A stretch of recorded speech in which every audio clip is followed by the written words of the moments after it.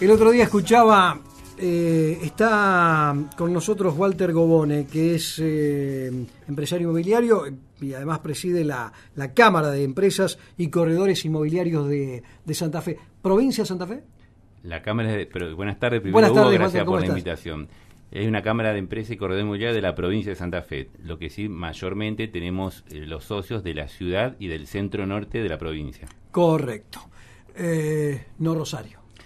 Eh, tenemos gente cercana a Rosario y algunos socios adherentes o simbólicos de la ciudad de Rosario, pero ya Rosario tiene otras cámaras que lo nuclean ahí en la ciudad de Rosario. Perfecto. digo, el otro día escuchaba una, una discusión en, creo que fue en el programa de Fantino a la noche, eh, en donde se preguntaba si eh, pagar alquiler es tirar la plata. ¿Pagar alquiler es tirar la plata, sí o no? No, creo que no. Creo que no. No sabes. Mm, porque para ese momento de tu vida es eh, funcional. Bueno, lo que pasa es que yo conozco la respuesta, entonces me parece que sí, eh, es mejor la respuesta que... Es mejor tener, invertir en tu propia casa, No, por supuesto, pero, pero, hubo una defensa, hubo una defensa, no sé si lo viste, Walter. Sí, lo, vi. Hubo una defensa de, de, Pablo, de, Pablo. en donde él decía que es una inversión. Claro. Porque eh, para aquel que no puede llegar a, a comprar y cree que no va a llegar nunca a comprar una vivienda, está invirtiendo en, en, ese momento, y creo que por ahí pasa también tu. Es funcional al momento de tu vida, claro, a ese momento de tu vida, ¿no es exacto, Exacto. Particularmente a mí me pasó de tener una casa muy lejos del centro y alquilé mi casa y alquilé en el centro. Sí, obviamente quisiera tener mi casa y que esa plata la pueda poner en mi casa, pero a mí me fue funcional a mi vida en ese momento, porque me solucionó muchas cosas. Claro. Eh, el tema, eh, uno cuando dice tirar la plata, que eso es la verdad que lo escuchamos muy a menudo, o cuando van a pagar en los alquileres, la gente nos dice cómo me duele venir a pagar. Hay que tener en cuenta si tirar la plata, si uno lo hace teniendo otras posibilidades. Cuando no tiene la otra posibilidad, como mencionaba, es decir, si yo tengo la posibilidad de comprar y no lo compro, a lo mejor uno puede considerar que está, digamos, eh, malgastando el dinero, pero dentro del contexto que uno va viviendo, el alquiler soluciona a veces, como bien vos decías, a lo mejor vivir más cerca de, una actividad, de un trabajo, de donde uno tiene su propia casa, y si las condiciones para la compra de un inmueble no están porque no hay créditos hipotecarios en algún momento, o porque también las ciudades se van eh, agrandando de una manera y uno quiere vivir en ciertos lugares de las ciudades que no son los que a lo mejor uno puede tener acceso a la vivienda, termina alquilando. También cuando uno alquila para una oficina, para un comercio, eh, quiere lugares donde sea rentable, o sea, económicamente viable el alquiler en el sentido que haya mucho movimiento o lugares digamos, por la sí, no, tenés otra alternativa. entonces, es una manera de poder cumplir la necesidad que tiene uno en ese momento.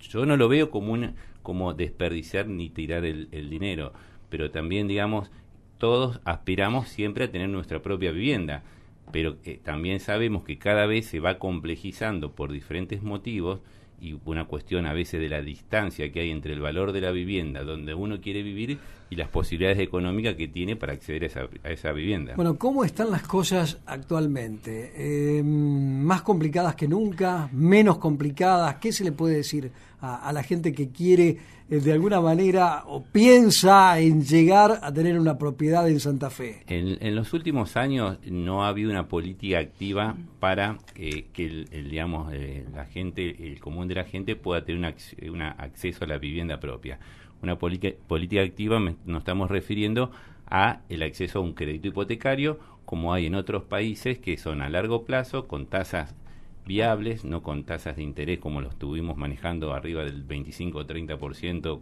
que son las que estamos manejando de la inflación, y en lugares donde tengan todos los servicios, el acceso no solamente a, los servicios básicos eh, y también, sino también a, a las líneas de transporte. Entonces, en los últimos años eso no ha sucedido. Este año empezaron a aparecer líneas de crédito hipotecario, pero todavía no se han concretado porque se sumó un aditamento que no teníamos en cuenta, que fue la alta inflación en lo que va del año y el tema de la desregulación de los precios de los servicios que ha impactado negativamente en el poder adquisitivo de, eh, de la mayoría de nosotros.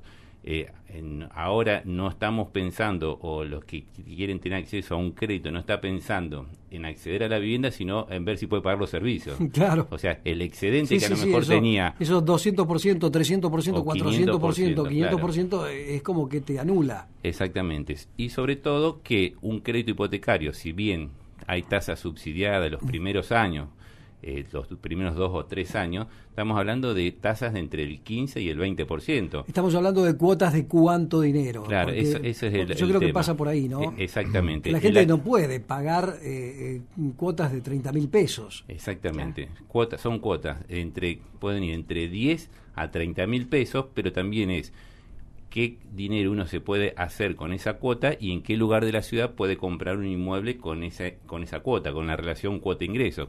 Está demostrado a lo largo del tiempo que si la relación mayor a un 30% del ingreso del grupo familiar, o sea, si la cuota es mayor a un 30%, después se va a complejizar a lo largo del tiempo poder seguir afrontando ese 30%.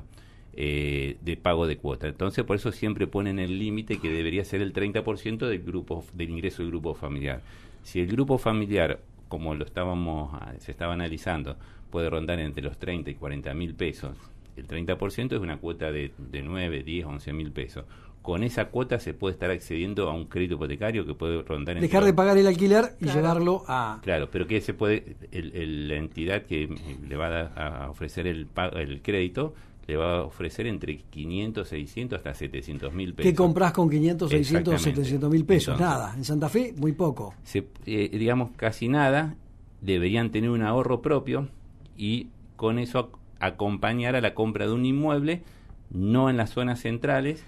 Eh, en los barrios a partir de un millón de pesos puede se puede conseguir algo. Y a partir de un millón de pesos se puede conseguir casas en barrios de un dormitorio y eh, un departamento en zona central puede estar en, esos montos de un dormitorio de ahí para un valor mayor, de un millón de pesos para arriba. O sea que el problema es que si uno no tiene dinero ahorrado, hoy por más que la línea de crédito van a ayudar, imposible. Es bastante complicado acceder a lugares donde eh, eh, el, digamos, el que tiene el acceso a, esas líneas de crédito quiere vivir, que es cercano a sus trabajos y a otra o con ciertas comodidades. ¿Se puede ser eh, optimista en cuanto a que de aquí a un futuro inmediato pueda haber alguna novedad? Eh, para estar en este rubro tenemos que ser siempre optimistas. Siempre optimistas. O sea que tenemos que ser optimistas. una de las preocupaciones y lo que tenemos que tratar en que se generen las condiciones que baje la inflación. Bajando la inflación, eh, lo que se va a generar es que la, la relación cuota-ingreso y el plazo se puede extender. Hoy están los plazos están rondando entre los 15 y 20 años. Para poder tener un plazo mayor o de, con mejores condiciones tendríamos que estar llegando a los 30 años. Claro.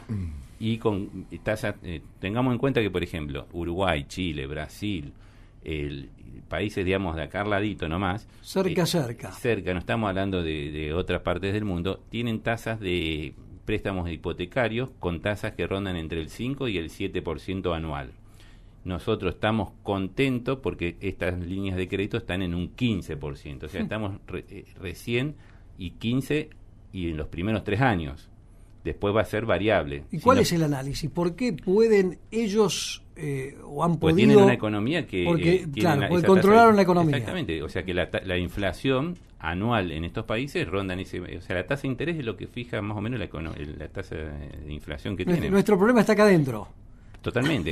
Convengamos también. tenemos que, nosotros, digo. Que el, el acceso a la vivienda también cada vez se dificulta más porque, eh, y no solamente en nuestro país, en, en, todos los países, uno dice Europa o mira para Estados Unidos, la gente accede a su vivienda, y lo explicaba la otra vez en ese programa que vos mencionabas, pero está durante 30 años pagando la cuota de la hipoteca que compró en su propia casa. Sí, sí, absolutamente normal. Es, normal. No tenemos esa cultura, pero porque tampoco tuvimos esas posibilidades. Uno por ahí se tiene que remontar a lo mejor hasta 15, 20 o 30 años atrás de las líneas de crédito hipotecario que había planes especiales con casas especiales que financiaban la, la, la compra de una vivienda la primera vivienda con créditos blandos y con sí, sí, con cuotas accesibles. Exactamente. Me parece que pasa por ahí, ¿no? Que, que, que era, era diferente en ese aspecto. Sí, Eso muchos años para pagarla, pero podías pagarla. En, en, los, como te comentaba, en los países o vecinos, o, tomando como referencia otros países de otras regiones, las, las cuotas son accesibles, no son tampoco baratas y están 25 o 30 años pagándola. Nadie puede pretender que en 10 o 15 años uno pague su, su cuota de su vivienda eh, y bueno, sobre todo en Argentina que tenemos tantas variables económicas tan seguido. No, no, por supuesto. Eh, sí, los contratos, eh, hablando de otra cosa, los contratos este, que se tienen que renovar hoy de alquiler, ¿qué parámetros están tomando este, las inmobiliarias, digamos, porque son contratos de dos años? Los ¿No es cierto? Claro, los contratos, el, eh, plazo, un aumento, el plazo mínimo de locación son 24 meses. Desde la modificación del Código Civil en agosto del año pasado, también son 24 meses para, para lo que es comercio. A fines del año pasado teníamos una expectativa de que eh, iba a ser rondar alrededor del 30% el incremento interanual en la renovación de los contratos. En lo que fue del año, eh, en lo que va del año, perdón, ese incremento la inflación creo que superó ese 30% ampliamente, pero se sigue manejando ese 30% en la renovación, en la renovación o en la fijación de un valor con respecto a, año, a un año anterior. Porque también uno tiene que tener en cuenta cuando fija el valor del alquiler es el poder adquisitivo del mercado donde donde uno tiene el inmueble. Es muy diferente la oferta y la demanda que puede haber en Santa Fe como en Santo Tomé, Sauce Viejo, Esperanza Rafael. Entonces, por más que a veces uno siempre tenga una referencia de una renta, de un, del valor del inmueble, que históricamente el valor de, un, de la renta de un inmueble era el 1%, hoy ese 1% ha bajado a un 0,4, 0,3,5 del valor del inmueble. ¿Por qué? Porque si hoy uno quisiera eh, hacer valer lo que siempre valía o el 1% del valor del inmueble, el alquiler, hoy no se podría alquilar absolutamente nada porque sería inviable porque el mercado no lo podría pagar. No sé si me, explico. Eh, estaba buscando alguna referencia con respecto al tema de, los procrear en, Santa Fe, donde bueno las últimas noticias indican que más de eh, 3.000 familias santafesinas han sido beneficiadas por el nuevo procrear, ¿no? O sea que recibieron un correo electrónico con el resultado de la de la selección. En el ámbito nacional se habla de 25.000, dos familias, eh, Santa Fe, 3.000 familias que han sido beneficiadas con el Procrear. No sé si es mucho o poco.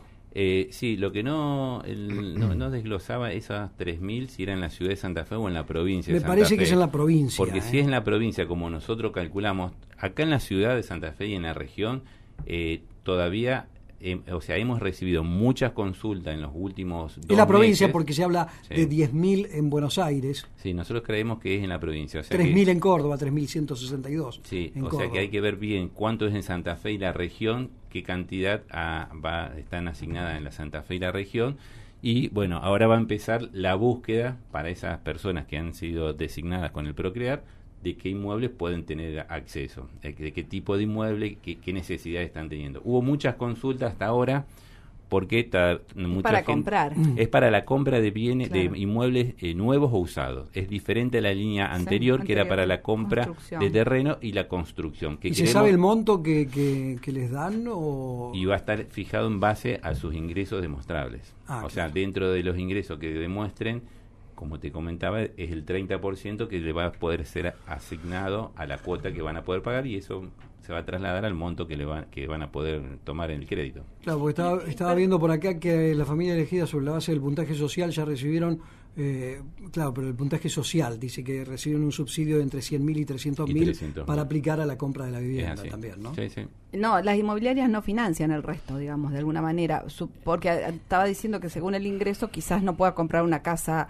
este menos de un millón de pesos, no puede comprar nada, porque hablaba de un dormitorio eh, digo, la inmobiliaria no hace ese... No, la, la, función Ninguna inmobiliaria hace el... Los bancos, generalmente lo hacen los bancos. Claro. Eso lo deberían hacer los bancos. Las inmobiliarias estamos para otra cosa. En Pero ya tenemos el banco, el crédito del banco. si el banco no puede financiarlo, no lo vamos a poder pedir a, las inmobiliarias. Eh, digamos, lo que nosotros podemos hacer es negociar las mejores condiciones para que se haga la operación, ya sea no solamente en el precio, porque es una de las opciones, sino también en, la calidad del inmueble, en verificar toda la documentación para que sea tranquilamente eh, viable la operación y llegue a, un, a, buen puerto, como quien dice, pero las inmobiliarias, digamos, eh, no es nuestra función y si que, es la de financiar. Podemos acercar algo a lo mejor que algún sea mejoramiento. algún mejoramiento, pero para eso están las entidades bancarias que es, parte de su actividad poder prestar el dinero. Eh, Walter, gracias por hoy, pero eh, seguramente bueno quedan preguntas, quedan quedan cosas para, para charlar, así que vamos a,